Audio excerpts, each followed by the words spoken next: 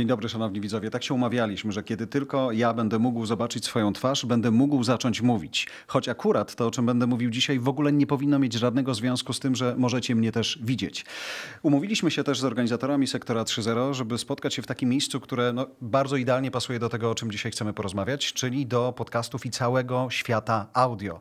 To jest świat, który ja osobiście dobrze znam, chciałem powiedzieć doskonale, ale zastanawiałem się dwa razy. Dobrze znam, dlatego że wszedłem do niego w wieku lat 15, no i zostałem.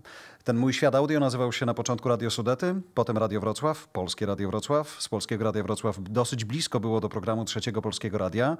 Później było Radio Z, później była telewizja, w której do głosu dołożyłem jeszcze kamerę, a dzisiaj tak naprawdę e, audio wraca w zupełnie innym wymiarze.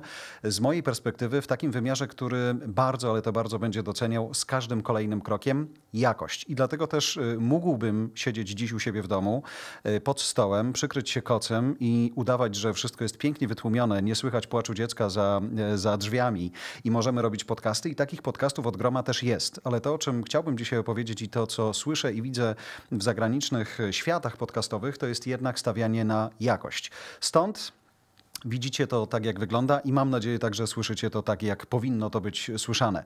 Podcasty są e, w Polsce takim rodzajem kontentu, który jest dzisiaj rozchwytywany. To studio, w którym teraz jesteśmy, każde myślę studio w Warszawie, na mieście, które byście spotkali, czy to będzie Wrocław, czy to będzie Gdańsk, czy to będzie Kraków, myślę, że nawet okolice Lublina też mogą e, mieć e, tak miły czas. To są momenty, w których ktoś coś chce nagrać, bo słyszał, że audio przecież e, jest modne, albo audio jest teraz na fali, więc jeżeli coś jest na fali, to wskoczmy na nią i na tej fali popłyńmy. Wiem, że tuż po tym spotkaniu moim z wami teraz będziemy mieli szansę porozmawiać i będziecie mieli okazję zadać parę pytań, ale nawet nie czekając, jeżeli tych pytań macie dużo, to ja y, będę mógł zerkać i robię to nawet w tym momencie, w takie miejsce, w którym wy na czacie związanym ze sceną możecie śmiało y, te pytania zadawać, a ja będę na nie w miarę błyskawicznie reagował, tak żeby jak najbardziej y, była to nasza wspólna rozmowa. Livecast, można by powiedzieć. Świat audio rządzi się prawie tymi samymi prawami, co rządził się y, przez długie lata. Nic tutaj się specjalnie nie zmieniło, ale dzisiaj możliwość wejścia w ten świat jest bardzo, ale to bardzo łatwa dla wszystkich. Trochę jak z YouTube'em kiedyś. Można było wziąć prostą kamerę, nawet nie trzeba było stawiać specjalnego mikrofonu, można było zrobić content, wrzucić, jak oglądali, super, jak algorytm pokochał, super. Natomiast to, co wydaje mi się powinno być celem tych, którzy chcą robić to profesjonalnie, to powinno być coś takiego, co sprawia, że jesteście w stanie mm, dawać treść, której się nie wstydzicie, dawać jakość, która w finale będzie mm, na przykład warta tego, żeby ktoś wyłożył pieniądze i wam za tę treść zapłacił. To, co wydaje mi się jest istotne i to, co wydaje wydaje mi się jest na horyzoncie amerykańskim bardzo, bardzo widoczne i na polskim zaczyna być, to właśnie przygotowywanie tych podcastów w bardzo profesjonalny sposób. Dzisiaj, kiedy ktoś mnie pyta, Panie Jarku, czy to łatwe do zrobienia, mówię oczywiście. A czy ja mogę przyjść i coś nagrać? Oczywiście. Co ja z tego będę miał? Będziesz miał szansę pokazać się tym kontentem w miejscu, w którym być może są ludzie, którzy chcieliby właśnie e, tą treść złapać. Oni do tej pory e, mogli Ciebie czytać, oni do tej pory mogli Ciebie widzieć, a dzisiaj będą mogli Cię usłyszeć. I owszem, ten głos był towarzyszącym głosem do wideo, natomiast mówimy o zupełnie nowej sferze, takiej, w której mm, mogą zamykać się każdego rodzaju treści. I ich dzisiaj rzeczywiście też jest sporo i powstają kolejne. To, o czym wspominamy w jednym zresztą podcastów wojsk house'owych technologicznie z Bartkiem Pustkiem, to jest przede wszystkim znalezienie sobie niszy. Cały świat, czy on jest, czy on jest podcastowy, czy on jest inny, on nam się w ten sposób e, formatuje, że zaczynają się pojawiać nisze w niszy. Możemy na przykład przygotować sobie całą serię podcastów psychologicznych, ale osobną niszą w serii podcastów psychologicznych będzie na przykład nisza dotycząca psychiatrii, albo nisza dotycząca depresji, albo nisza dotycząca wyjątkowych chorób psychicznych, albo nisza dotycząca tylko leków, które pozwalają przetrwać depresję na przykład. I to, y, co widzę dzisiaj chociażby w statystykach, to jest właśnie ten moment, w którym i wydaje mi się, że to jest największe zwycięstwo tej formy treści. Nie wiem jak długo. Ten pociąg pędzi, trzeba do niego wskoczyć i wierzę, że można się wygodnie rozsiąść i swoje zrobić. To, co jest wielką wartością, to to, że kiedy patrzę na statystyki, to retencja słuchaczy, wierzę, że ona podobna będzie teraz, kiedy o tym sobie rozmawiamy, to mm, zdarza się tak, że w audycji, która trwa godzinę, pół godziny, czasem półtorej godziny, a czasem dwie godziny, 80, 70, czasem 96% ludzi, y, to, jest, to są ludzie, którzy zostają do samego końca. I teraz pokażcie mi y, Wiem, że są.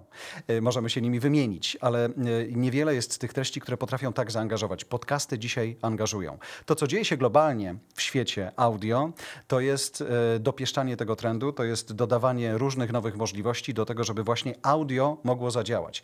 I jako użytkownik iOS-a, e, Swego czasu zobaczyłem, że Twitter dał mi taką możliwość, żebym nie tylko pisał, ale jednocześnie zostawił komuś notatkę głosową.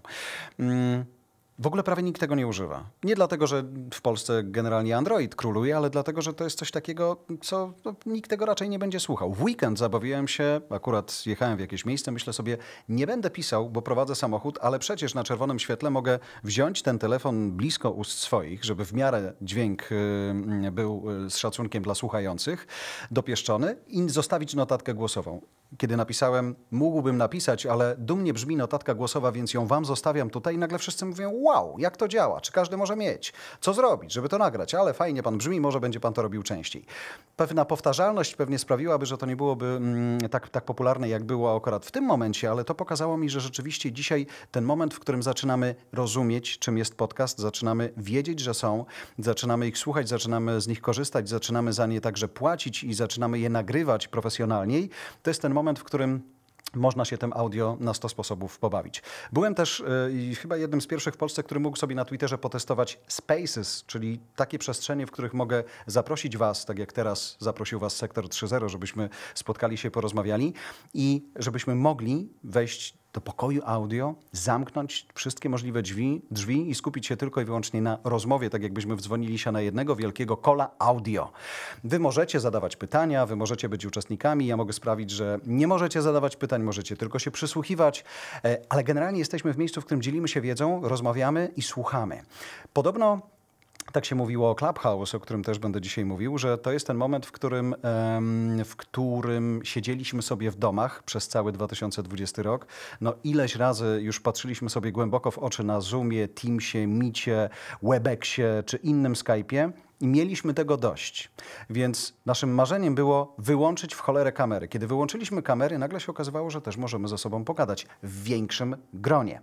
I ten moment, w którym e, nagle narodziła się ta platforma, był dla niej e, idealny. Nie mówię już nawet o wycenie rynkowej teraz, bo jest rzeczywiście przekozacka i życzę e, każdemu biznesowi, żeby tak szybko urósł, ale zobaczcie, Twitter nie jest w stanie zawalczyć o tą społeczność, która tam bardzo szybko się zbudowała. Daje dzisiaj taką możliwość i fajnie z niej korzystać, ale chciałbym, żebyście też a propos profesjonalizacji tego rodzaju kontentu, e, mm, wynieśli z tego naszego spotkania dzisiaj też taką, może nie tyle wiedzę, ale spostrzeżenie, że audio i praca na audio, praca dźwiękiem, czy to będzie Spaces, czy to będzie Clubhouse, czy to będzie podcast, czy będziecie go hostować, czy będziecie gościem tego podcastu, on nie jest taki łatwy warto by było, zanim się odezwiecie do mikrofonu, odwiedzić logopedę. To może być nawet takie spotkanie na Teamsie, Zoomie czy innym, e, innej platformie, żeby ktoś usłyszał i zwrócił Wam uwagę na to, że za szybko, że świszczycie, że seplenicie, że ślinę przełykacie źle, bo audio nie znosi byle jakości. Byle jakich podcastów, byle jakiej twórczości audio jest od groma wszędzie. W Stanach Zjednoczonych też. W Polsce też, bo ten próg wejścia, każdy myśli sobie, wow, mogę mieć dzisiaj swój podcast. Jestem prawnikiem, nie mogę reklamować usług prawnych, ale mogę mieć swój podcast, który będzie dookoła opowiadał moje zawody. Czemu nie? Przychodzi firma, mówi, my mamy tyle i tyle tematów do obgadania, pójdźmy w audio, co możemy zrobić? I teraz zaczyna się yy, takie czasami zdejmowanie masek, pokazywanie Odwróciłem się przez chwilę przez szybę, bo jest przesympatyczna pani fotograf, która robi zdjęcie, więc wierzę, że później ktoś będzie chciał zobaczyć, jak to wyglądało na backstage'u tego wszystkiego. Też o promocji podcastów opowiem za chwilę. Kiedy zaczynamy opowiadać, co jest potrzebne do tego, żeby takie dobre audio, powiedz, powiedzmy, że chcecie 30-minutową audycję, która będzie brzmiała niewstydliwie, bo przecież jesteście marką, która sprzedaje swoje produkty za całkiem niezłe pieniądze, więc fajnie, żebyście dawali jakość podcastową za całkiem niezłe pieniądze. Więc dobrze, żeby to był mikrofon. To może być taki, to może być inny, ale dobrze, żebyście umieli też z nim pracować, żeby ten logopeda e, zwrócił wam uwagę na waszą dykcję, a potem ktoś, kto, mm, jak przyjdziecie do profesjonalnego studia, to nie wyobrażam sobie, że ktoś wam e, powie, że mm, albo inaczej nie wskaże, jak należy tego mikrofonu używać, ale e, dobrze by było pilnować bliskości tego mikrofonu, żeby ktoś, kto później będzie słuchał tego waszego podcastu, nie wstydził się, że coś takiego w swoich uszach ma.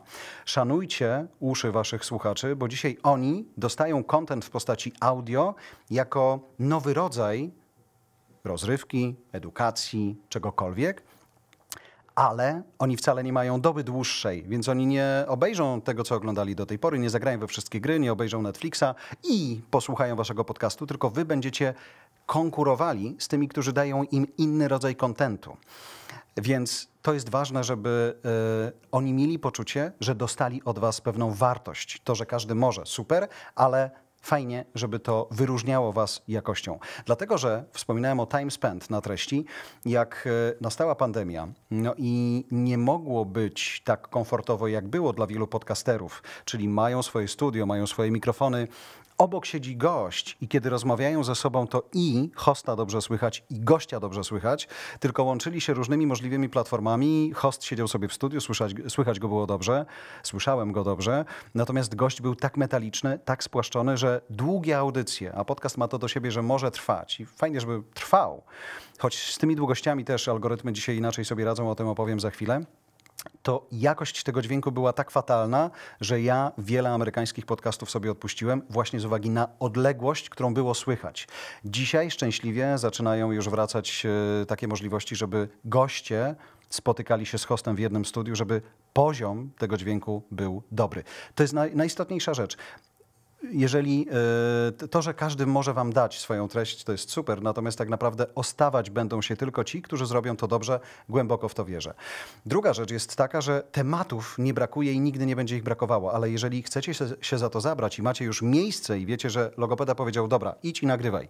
Trafiliście do studia, które może być mniejszą dziupelką, malutką, nawet dobrze wygłuszoną, będzie dobry mikrofon, ktoś powie, jak macie go używać i zaczniecie coś nagrywać, zacznie się ten sam problem, który jest zawsze z każdym hostem, czyli czy ja wiem w ogóle, co ja chcę powiedzieć, czy jakkolwiek rozpoznałem swoją publiczność, i czy będę umiał zrobić więcej niż jedną audycję.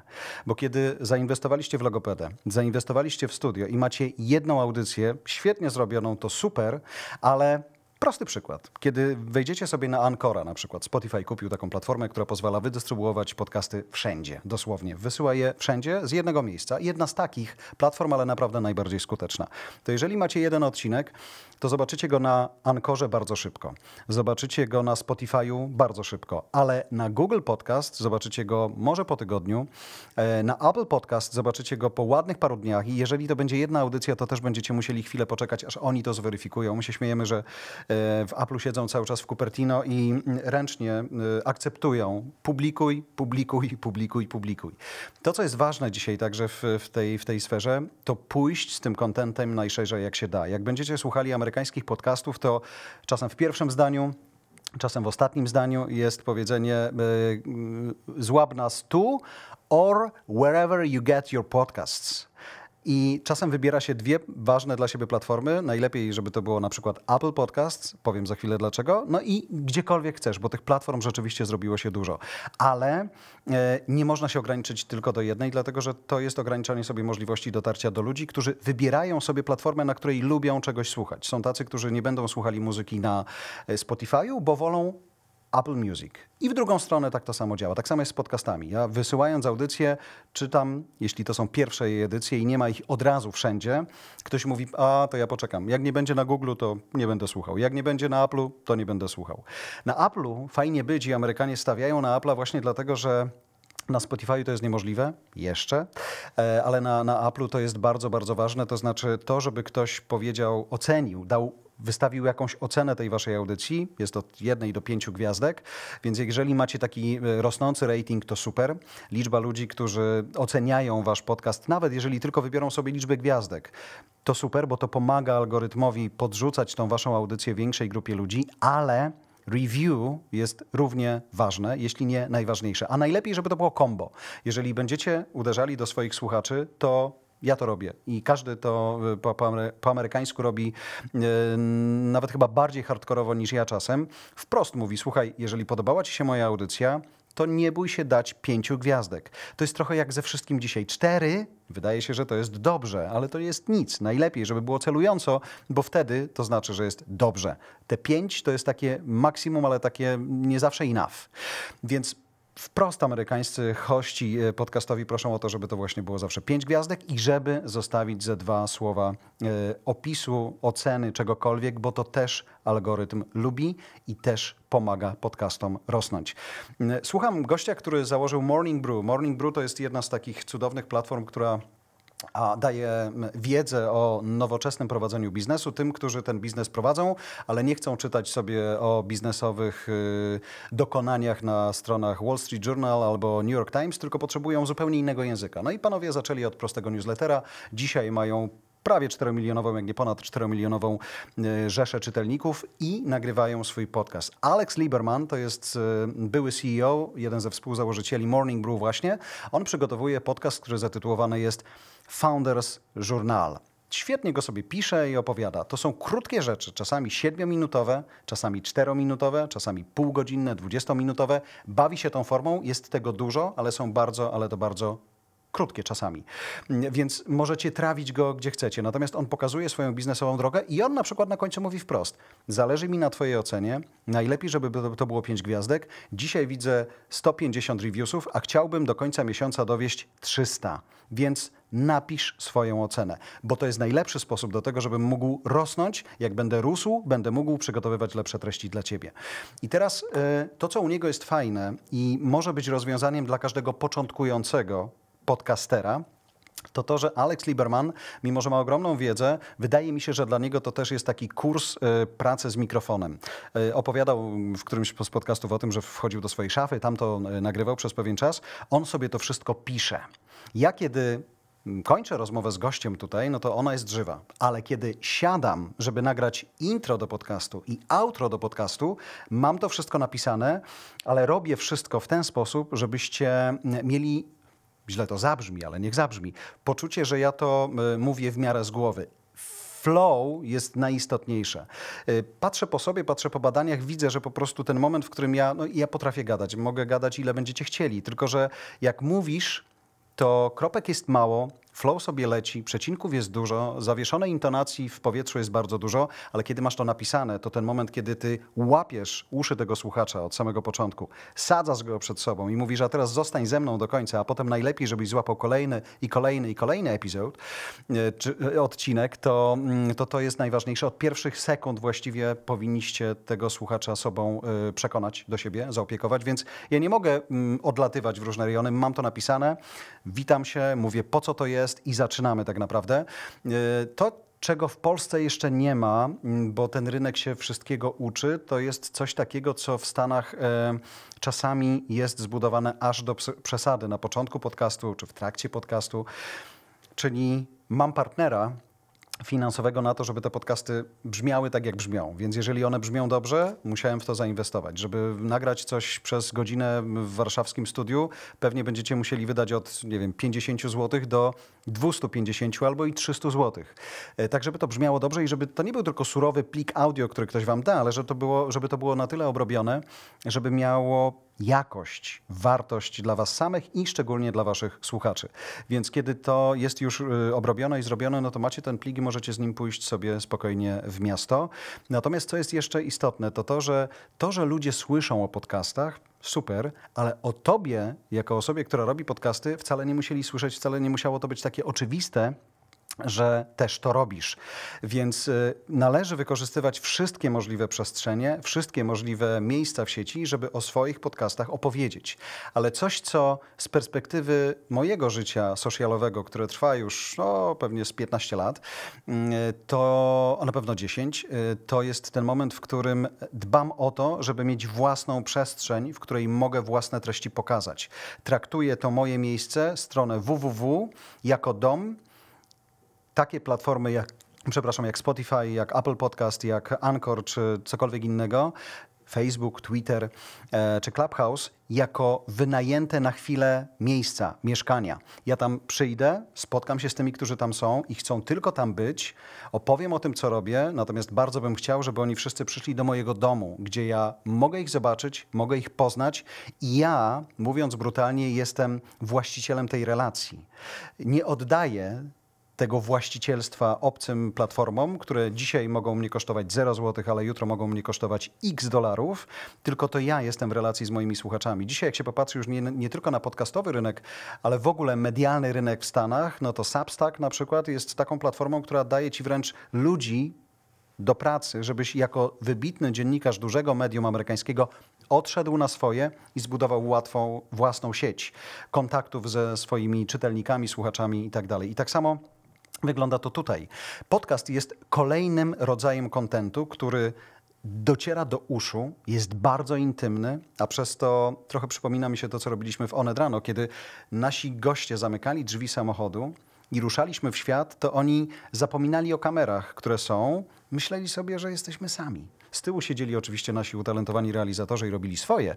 Natomiast tak naprawdę mm, oni czuli się bardzo intymnie. Myśmy mogli rozmawiać o rzeczach, o których w życiu by nie porozmawiali, bo nie było żadnych świateł, cudów, wianek. I teraz podcast czyli zamknięta forma audio, jest jedną z najbardziej intymnych form kontaktu z waszymi klientami, słuchaczami, czytelnikami, partnerami, kogo sobie tylko wymyślicie. I teraz dobrze, żeby oni e, byli, te, te, te, ich uszy były przez was zaopiekowane, więc mówiliśmy sobie już o Basicu, ale potem to, co się zadziewa, to także to, żebyście dobrze udźwiękowili ten podcast. Każda audycja, która powstaje chociażby w tym studiu, ląduje na specjalnej postprodukcji dźwiękowej, tak żeby poprawić pewne rzeczy, odszumić pewne rzeczy, powyciągać pewne rzeczy. Dokładamy dźwięk, staramy się ten dźwięk mieć przygotowany mm, e, w sposób spersonalizowany, nie kupować dźwięków na stoku, tylko mamy specjalnie dedykowane ścieżki dźwiękowe napisane przez muzyków, tak żeby to brzmiało po swojemu. Można, ale nie trzeba tego robić. To, co jest ważne także, jeżeli macie dobrze nagrany dźwięk podcastowy, chcecie pójść z nim w miasto, no to macie ścieżkę dźwiękową. Możecie zalogować się na Ancora w sekundę i wysłać to gdzieś. Potrzebujecie do tego jakiegoś opisu, żeby ktoś zrozumiał, czym ten podcast jest, po co on jest i dla kogo on jest. Jakiejś kategorii, w której chcecie się poruszać, najlepiej nie za dużo, żeby to była właśnie nisza w niszy, żeby ludzie wiedzieli, że to jest to. Oni po to do was przychodzą, bo mają tysiące innych ludzi, którzy ich kuszą swoimi audycjami, ale przychodzą do was po właśnie tą konkretną treść. No i okładka. Fajnie, żeby to się spinało i żeby to miało ręce i nogi żeby ta okładka wyróżniała się z tłumu, tłumu tysiąca różnych okładek, y, które kuszą. Czasem twarzą kogoś, kto jest hostem czegoś, a czasem y, czymś innym, co rzeczywiście przykuje uwagę. W Stanach, y, w Polsce nikt się na to nie odważa, bo też być może nie chce w to inwestować. Sam mam takie doświadczenia e, od osób, które mówią, no słyszałem, że te podcasty rzeczywiście to jakoś tam sobie rośnie. To ja może wejdę, zróbmy parę rzeczy razem, nie inwestuję i zobaczymy, co z tego będzie. Więc to, co ja widzę po swojej inwestycji sprzed ponad pół roku, to jest to, że każda kolejna audycja ciągnie wszystkie, które wcześniej zostały nagrane. Każdy nowy podcast ciągnie wszystkie, które zostały do tej pory przygotowane. Oczywiście są różne pory, są różne emocje, są różne emisje, są różne, e, różne wydarzenia, różne tematy, które ciągną bardziej lub mniej, ale jednocześnie jest tak, że wszystko cały czas sobie każdego dnia żyje. Ostatni podcast, który wypuściliśmy, wyprodukowaliśmy dla Olgi Pietrkiewicz. To jest e, dziewczyna, która uczy biznesowego angielskiego. Olga e, myślała o tym, żeby zamienić swoją treść, która jest treścią graficzną, treścią newsletterową także, na treść audio i okazało się, że jest spora nisza i spory brak na rynku podcastów w Polsce. Podcastów, które uczą języka, ale biznesowego, żeby mówić e, trochę lepiej niż, niż, niż, niż, niż normalnie, basicowo, żeby to były zupełnie inne słowa, żeby to był zupełnie inny kontekst, zupełnie inne synonimy, tak żeby to brzmiało po prostu profesjonalniej. I nagle okazuje się, że jej społeczność to była idealna społeczność, która właśnie w ten sposób audio chce taką formę mieć w swoim Spotify'u czy w swoim telefonie. I to jest dzisiaj rzeczywiście fajne doświadczenie, bo patrzę na tych liczbach. Olga, jak wskoczyła przed tygodniem z hakiem na, na Ancora i wysłaliśmy dwie pierwsze audycje od Tak na próbę w świat, to wskoczyła na 11 miejsce 200 najbardziej popularnych podcastów w Polsce, gdzie liczone są podcasty i amerykańskie, i polskie. Bada się to, czego ludzie słuchają. Od tak, po prostu miała zbudowaną społeczność, która te podcasty poniosła. Więc jeżeli dzisiaj słuchacie mnie teraz i myślicie sobie, no dobra stary, to pójdę do logopedy, przyjdę do ciebie, nagrajmy to i co dalej? Kto tego będzie słuchał? Musicie mieć ludzi, którzy od was ten link wezmą i posłuchają. Więc jeżeli y, nie macie ich jeszcze teraz, a chcecie wejść w ten świat, to zasada jest ta sama. No możecie pisać piękne posty na Twitterze, ale jeżeli nie będzie nikt ich czytał, Szkoda czasu. Możecie pisać piękne posty na Facebooku, zawodowe, ale jeżeli nie będzie po drugiej stronie kogoś, kto je będzie czytał, szkoda czasu. Możecie nagrywać cudowne YouTube'owe filmy, ale jeżeli nikt nie będzie ich oglądał, szkoda czasu i pieniędzy. Możecie także oczywiście nagrywać e, nowe podcasty, ale jeżeli nie będzie kogoś, kto je od was weźmie i ich posłucha, no to szkoda czasu i pieniędzy też. Więc musicie i to za każdym razem. Mówię, to jest tylko inna forma przekazu. Za każdym razem trzeba mieć swoją społeczność i jej to pokazać. Pamiętajcie, że ta społeczność może was znać zupełnie innych dokonań do tej pory, no ale yy, o podcastach w waszym wydaniu jeszcze nie słyszała, więc każda możliwa platforma, czy to będzie Facebook, czy to będzie Twitter, czy to będzie LinkedIn, jest do tego, żeby pokazać podcasty. Jak je pokazać? No to może być ta sama okładka, to może być zostawienie linku, to może być także teasowanie. Teasowanie audio polega na tym, że wycinacie sobie piękną ścieżkę dźwiękową czegoś i robicie z tego krótki klip wideo. Na ten krótki klip wideo możecie założyć także reklamę facebookową czy, czy inną, tak żeby to się poniosło w świat, tak żeby ci ludzie przyszli za tym teaserem do was, do źródła i, i, i popróbowali, więc to jest ważne. Z mojej perspektywy mówiłem trochę o, tej, o tych prawach własności do tej treści. Y, buduję i rozwijam specjalną stronę, na której dajemy nasze podcasty, dajemy możliwość posłuchania ich bezpośrednio na stronie, dajemy możliwość przeczytania transkrypcji całej audycji. To są dodatkowe pieniądze, ale jednocześnie SEO to lubi i wszystkie możliwe e, automaty internetowe też to lubią, więc każda audycja ma swoją warstwę spisaną. Trwa to trochę, doprecyzowujemy sobie to wszystko i poprawiamy tak, żeby też czytelnik nie miał bólu oczu, kiedy będzie czytał to, co słyszy. Ale w przypadku angielskiego przeczytanie tych słówek, zobaczenie ich tutaj i słuchanie sobie jednocześnie audycji jest fajne. W jednym miejscu skumulowane to wszystko też daje dużą wartość. To, że pozwoliliśmy sobie zrobić tak coś, co się nazywa notatkami, nic może wielkiego, ale pozwala nam w ramach audycji zostawić linki. Ja dzisiaj mogę te linki zostawiać tutaj na czacie, no ale wtedy odwróciłbym wzrok od was, a nie chciałbym tego robić, więc skupię się na tym, żeby dobrze mówić i, i, patrzeć wam jednak głęboko w oczy. Natomiast e, nagrywając podcast, ja mogę powiedzieć i w, notatkach na tej naszej audycji znajdziecie link do, do tego czy tamtego. I tam to jest, w jednym miejscu. Natomiast nie mogę sobie pozwolić na to, i to przez lata się nie zmieniało, nie zmienia i myślę nie będzie zmieniało, że ja mogę jeszcze teraz, nie mogę sobie na to pozwolić, powiedzieć ludziom, słuchajcie, te podcasty są tylko tutaj, na Voice House na przykład i nigdzie więcej. To, co robiliśmy w Onecie rano też na samym początku. Mamy dużą stronę internetową, mamy miliony naszych użytkowników, no ale mamy też widzów, y, do których chcielibyśmy trafić z naszym kontentem, którzy są z nami na YouTubie, są z nami na Twitterze, Periskopie wtedy i są z nami także na Facebooku. Czy my Możemy im to zabrać i powiedzieć tylko na stronie głównej Onetu. Trudno się tak dzisiaj żyje. Oczekujemy tu i teraz, najlepiej w najbardziej wygodnym dla nas miejscu, więc my jesteśmy na stronie Voice House, dajemy tam wszystko, jak leci, ale jednocześnie mm, zostawiamy ikonki Spotify'a, Apple Podcast i Google Podcast, tych trzech największych, dlatego że naprawdę widzę od pół roku, jak działam sobie z podcastami, wielu fanów konkretnych platform. Oni nie będą słuchali na Spotify'u, bo kochają Apple'a i w drugą stronę tak samo to działa, więc daję im tą szansę, żeby oni tam poszli, ale robię wszystko, żeby wyszli z mojego domu, i najlepiej do tego domu jeszcze wrócili. Zaangażowanie jest bardzo ważne i to, żebyście pilnowali tego zaangażowania nagrywając swoją audycję, żebyście wiedzieli, że a, trzeba się pobawić długościami i formami. Jeżeli macie fajnych gości, którzy y, mają coś do powiedzenia, siedźcie z nimi za dwie godziny w studiu. Ale przez dwie godziny utrzymanie flow, utrzymanie zaciekawienia, pomyślcie, co możecie zrobić, żeby to się udało. Mm, y, jeszcze nikt nie breakuje specjalnie podcastów w Polsce, nie wrzuca reklam. W Stanach to się już dzieje, ale tak naprawdę są to dobre audycje. Nie ma innego wyjścia także, e, żeby ten podcast się niósł, jak osobowość prowadzącego. Ja jestem dzisiaj w tak komfortowej sytuacji, że no, sam mogę gadać.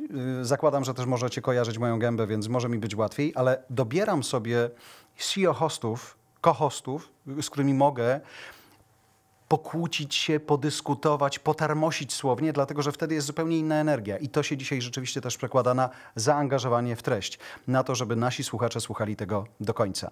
Więc Trochę podsumowując, liczę na tą naszą sesję pytań, która za 5 minut, może 10 rozpocznie.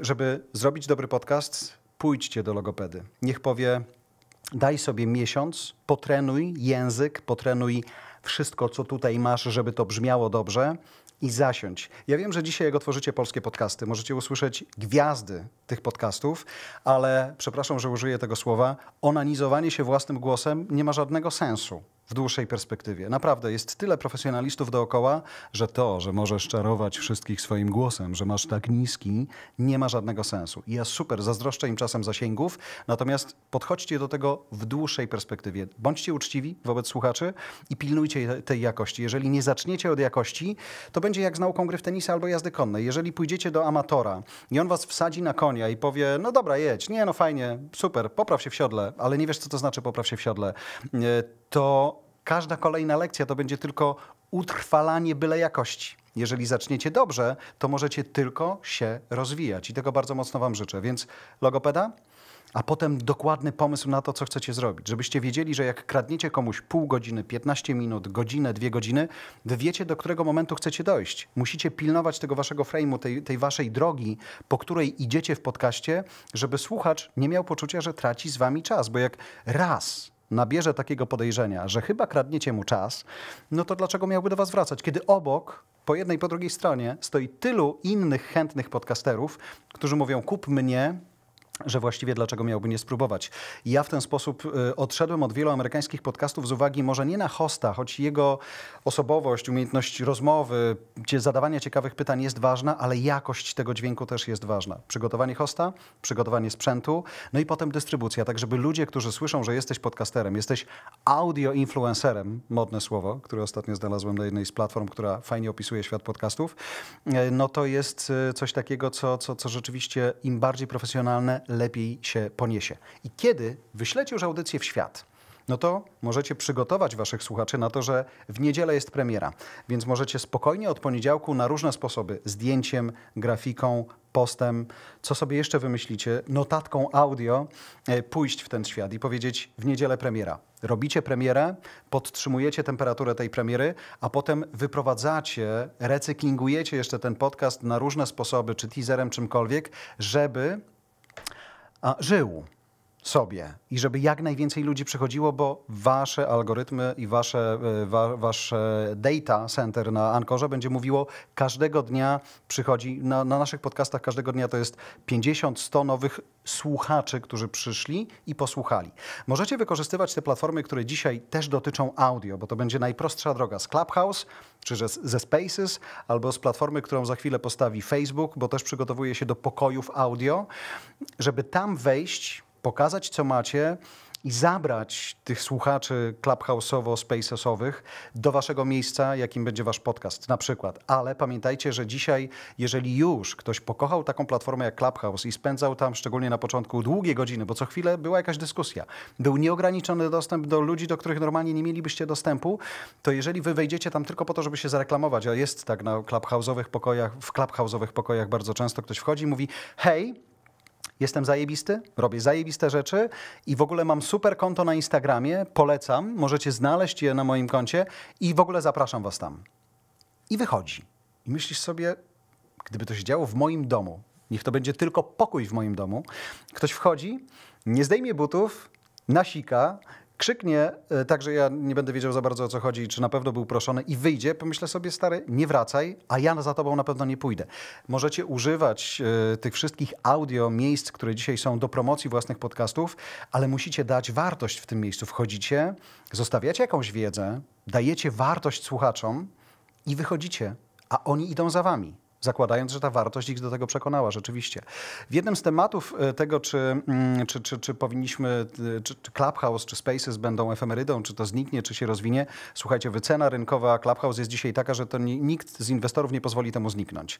Więc wydaje mi się, że będzie duże poszukiwanie modelu biznesowego na to, jak to powinno żyć, e, zakładanie płatnych miejsc tego Clubhouse'u, ale jednocześnie ta przestrzeń komfortu, intymności i dopieszczania się, właśnie nierozpraszaniem się na kamerę i inne takie rzeczy, myślę, że jest dużą wartością i będzie jeszcze trwała, będzie się zmieniała. Nie po to Twitter odpala sobie dzisiaj Spaces, a Facebook za chwilę coś innego, żeby to się za chwilę miało skończyć. Ten content będzie tam się pewnie profesjonalizował marki dostaną zupełnie nowe miejsce do tego, żeby opowiadać swoją historię. Potrzebni będą profesjonalni moderatorzy do tego, więc tak naprawdę to też myślę będzie dużą wartością, że ktoś potrafi taką rozmowę poprowadzić.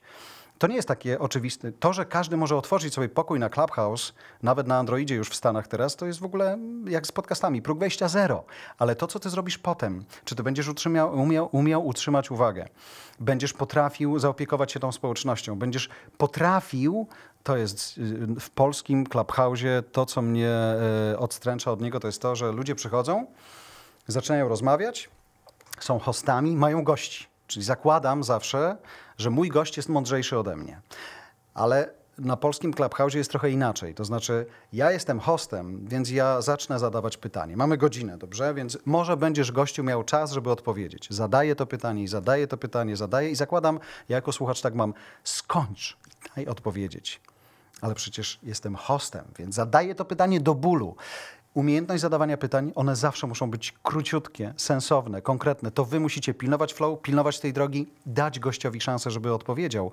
Jak on odpowiada, to słuchać go umiejętnie i zadawać mu pytania wynikające z jego odpowiedzi, a nie czytane z listy przygotowanych. Więc to, że dzisiaj każdy może, to jak Bartek Pucek w naszym pierwszym podcaście mówi, to, że dzisiaj każdy ma mikrofon, to wcale jeszcze nie oznacza, że każdy powinien z niego korzystać. Nie mówię to po to, żeby ta puenta była jakaś przerażająca i żeby was odstraszać, wręcz przeciwnie, zachęcam do tego, żebyście się odważali i mówili, ale pamiętajcie, że pierwsza audycja bez problemu zostanie nagrana. Druga, jeszcze będzie energia. Widzieli, słyszeli za pierwszym razem, fajnie zareagowali, zróbmy drugą audycję. Jezu, trzecia audycja. Co ja zrobię? Jakie tematy? Już się chyba wszystko pokończyło. Już o wszystkim opowiedzieli. Czwarta, piąta. Był taki moment, kiedy się mówiło, myślę, że to wciąż trwa, mm, to mm, ten moment, w którym zrobiłeś sześć, to znaczy, że już pójdzie. Ale jak nie zrobiłeś sześciu, to już w ogóle to nie wróci. Jest bardzo dużo podcastów, większość, mimo że powstaje ich naprawdę dziesiątki y, tysięcy czasami jednego dnia globalnie, to większość z nich nie ma w ogóle żadnej kontynuacji. Ktoś nie pomyślał wcześniej o tym, dokąd on chce dojść, co on chce zrobić. Więc to jest robota do wykonania na samym początku. Logopeda, pomysł na podcast, zaplanowanie sobie kilku odcinków konkretnych tematów, psychologia. Jezus, to jest tak poje, pojemne, że musicie wyniszować sobie tą psychologię. Musicie porobić czasem specjalne ścieżki na konkretne podcasty w ramach jednej serii, tak żeby zapraszać do konkretnego podcastu konkretnych ludzi. Wtedy pozwala wam to też skupić uwagę na tej treści, którą chcecie mieć, żeby to nie było za szerokie, tylko żeby nisza miała niszę w niszy, bo wtedy to się będzie fajnie niosło. Kiedy macie już to zaplanowane, macie rozpisane kolejne odcinki, to znajdźcie miejsce, w którym y, będzie cicho, będzie spokojnie Alex Lieberman, o którym powiem po raz ostatni teraz i za chwilę przeniesiemy się w zupełnie nowe miejsce, e, to mm, Alex e, nagrywał swoje pierwsze podcasty rzeczywiście gdzieś w szafie. I to było słychać. To było tak beznadziejne, że gdyby nie jego treść, to bym też nie dał mu szansy. W którymś momencie, z uwagi na to, że przyszedł fajny inwestor, Morning Brew się sprzedało Axlowi, Linierowi, Springerowi, e, ma czas na to, żeby się rozwijać i produkować content, bo to lubi selling i y, product, y, y, i produkcja takiego rodzaju contentu. Zatrudnił osobę, która poprawia jego dźwięk, poprawia jego treści, dokłada muzykę, wszystko i tak dalej. To za chwilę naprawdę zaczyna wyglądać dobrze i zaczyna się go naprawdę miło słuchać. Ale on się broni treścią. To jest naprawdę istotne, żebyście mieli w głowie to, co chcecie powiedzieć i widzieli, mimo że używacie tylko audio, tego, do kogo mówicie. Bardzo Wam dziękuję. Nie przywitałem się na początku. Y, skorzystałem z tego, że organizatorzy podpisali. Nazywam się Jarek Kuźniar i trochę się już znamy. Pracuję gębą i głosem od prawie 30 lat. Teraz skupiam się na podcastach i za chwilę będę miał okazję odpowiedzieć na kilka Waszych pytań. Więc zostając w tym miejscu, w którym jesteśmy teraz na sektorze 3.0, zapraszam za moment do takiego miejsca, które nazywa się Zapytaj eksperta. Więc będę ekspertem, przynajmniej przez kilka minut. Dziękuję za teraz i do zobaczenia.